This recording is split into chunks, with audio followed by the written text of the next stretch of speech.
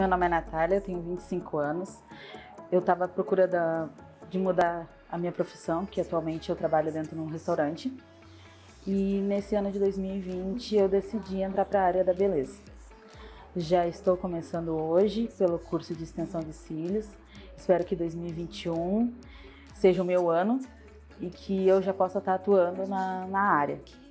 Já estou me atualizando, já aprendi as técnicas hoje e pretendo continuar sempre estudando. Sei que tenho, que, tenho muito para aprender ainda, né?